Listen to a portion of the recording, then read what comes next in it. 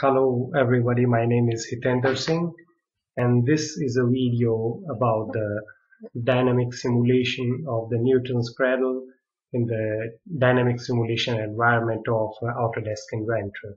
So here we can see the model, there is a base with these frames fixed on the base and these frames have the drill holes drilled in it and we have seven balls. These balls are fixed rigidly to these wires and we are going to constrain uh, we are going to position this wire and the ball or this frame so that this uh, this uh, ball and the wire can swing around the axis of the holes drilled on this frame. So I'm going to apply a constraint here to this wire.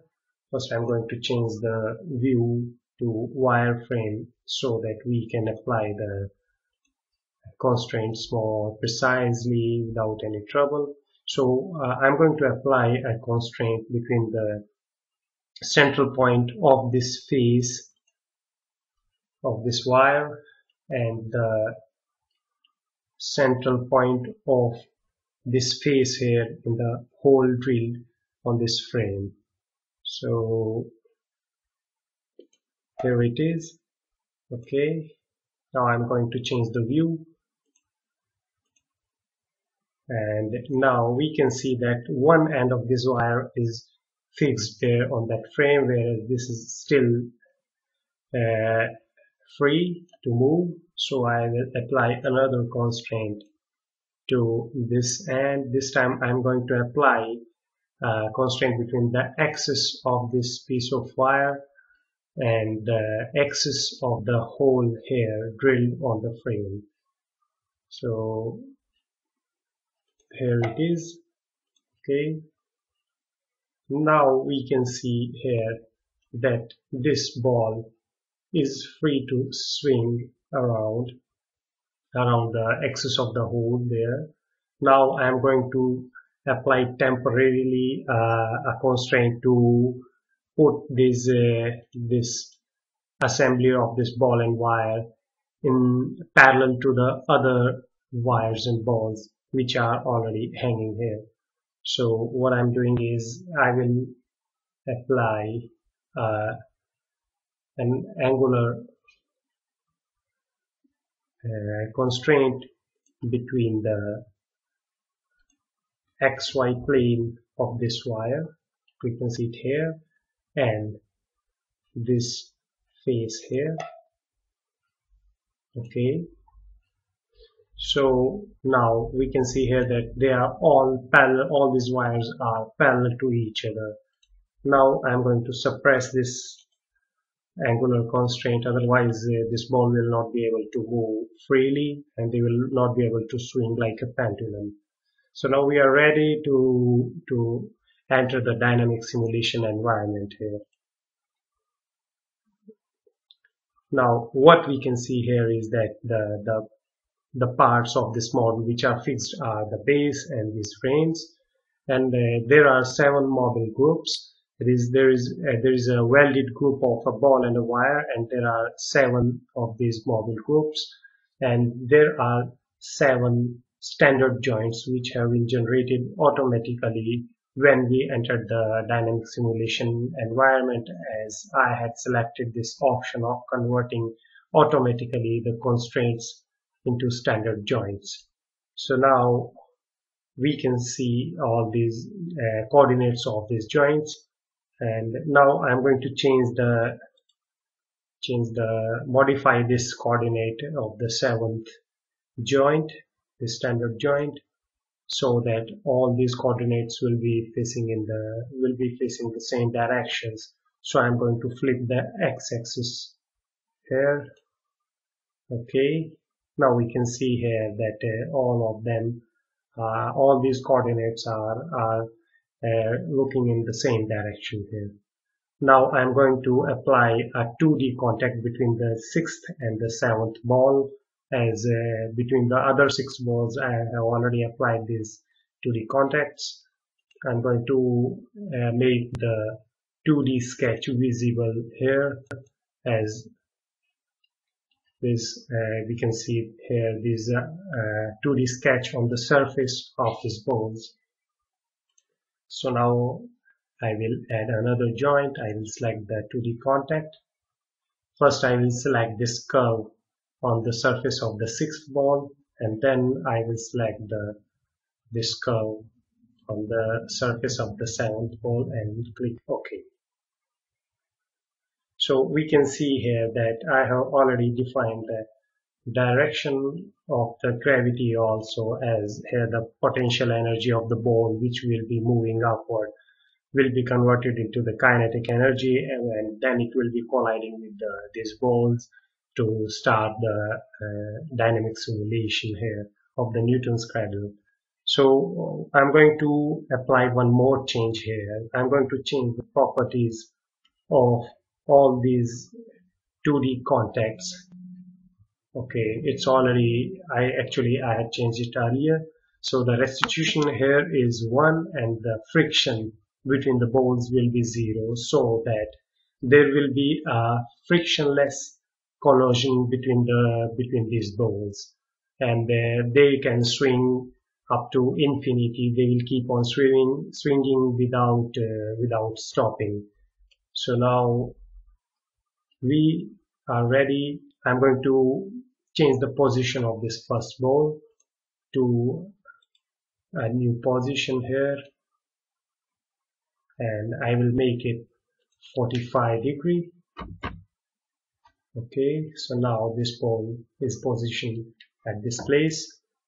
And now I will make the 2D sketches also invisible. And uh, will activate the shadow and the reflection also to see uh, to give it a more realistic look now. I'm going so now I'm going to hit the play button to see how this model will behave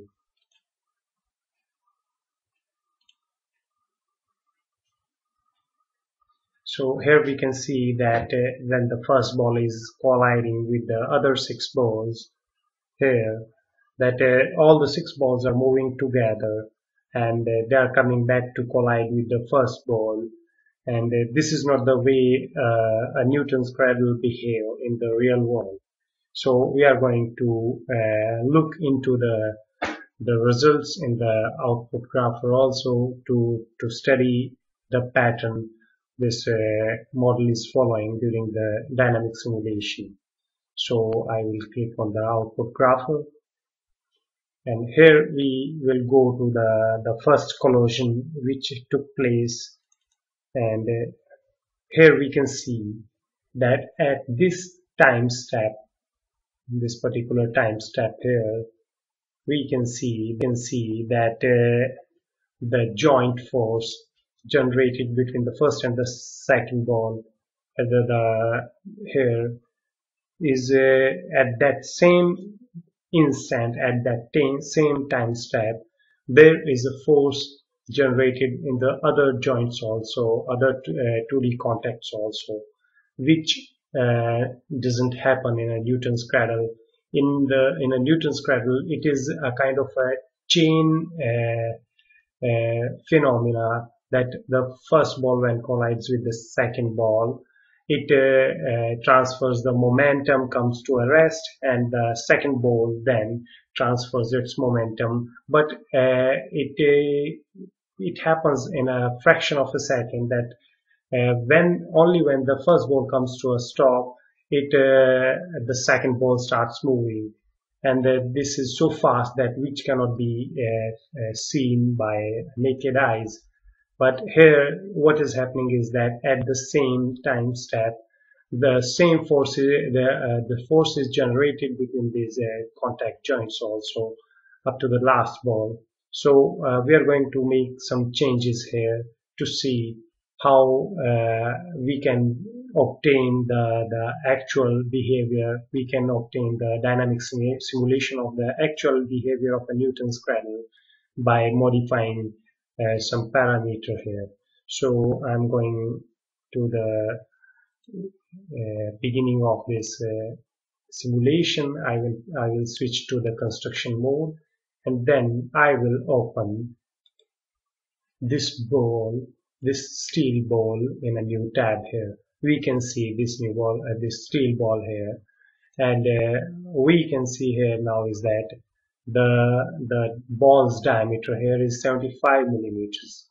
So what we normally do is that when we uh, make a model of the Newton's cradle, the diameter of the ball, we take it exactly equal to the distance between the axis of these holes here so that these balls we uh, fit perfectly uh, at their positions and neither they are uh, placed uh, uh, at a distance and nor they are uh, pushing each other when we when we fit the balls here. So what I'm going to do here is that I'm going to change the I'm going to change the diameter of this ball from 75 millimeters to 74.999 millimeters. So it's I'm changing it by one thousandth of a millimeter. So this uh, this change in the diameter of this ball is not going to make a, a very significant change in the physical properties of this uh, steel ball, but we will be able to change the, the behavior of the Newton's cradle in the dynamic simulation environment by this.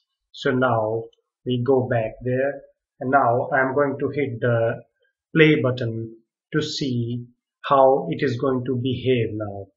So I will hit the play button and see here. Now we can see that only one ball is moving out and uh, not the uh, all of the six balls and when it is going back it is hitting and the momentum is conserved. And the first ball is again moving outward to the same position from where we had released it. As the there is no loss of energy because uh, we had made this uh, assembly frictionless. So now we can see in the output grapher also the the changes in the pattern here in the behavior now we can see that uh, we will again go to the first collision here. And we can see at the, this joint at the 2D contact joint here the force between these first two balls is uh, 19,259 newtons. Whereas there is no joint force between the, these other 2D contacts here. So uh, now if I go upward here we can see at the second time step here there is a joint force between these two, uh, second and the third ball only and on in the others it is zero. So it is here we can uh, understand that it is going it is taking place uh, in a in a series in a in a kind of a chain manner so uh, from the first in the six time steps we can see here this momentum is conserved, that uh, energy is transferred from the second to the third to the fourth to the fifth to the sixth joint here. And this way it is behaving exactly like a Newton's cradle uh, which behaves in the real world.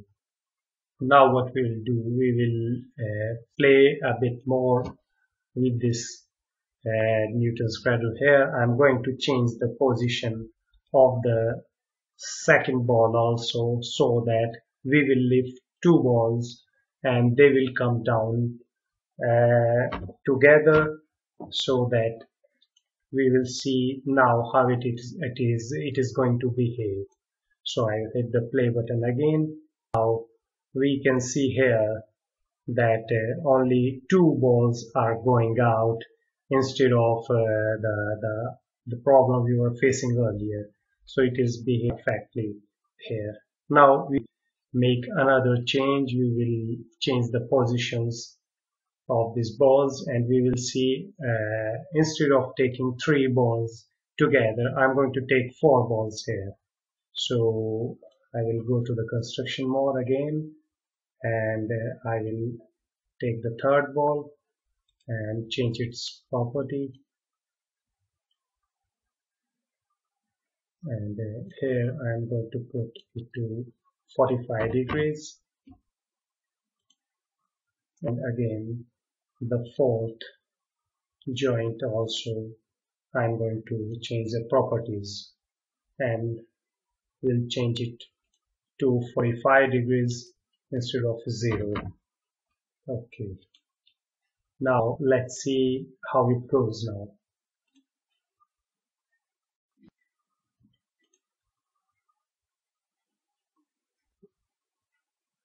So here we can see that uh, now the four balls are moving outward in both directions back and forth and this is working behaving perfectly a, uh, like a Newton's cradle in the real world so as we have seen that how by changing a very small parameter by a thousandth of a millimeter we were able to rectify the problem. We have been able to make this model work uh, in the dynamic simulation environment exactly like in the real world.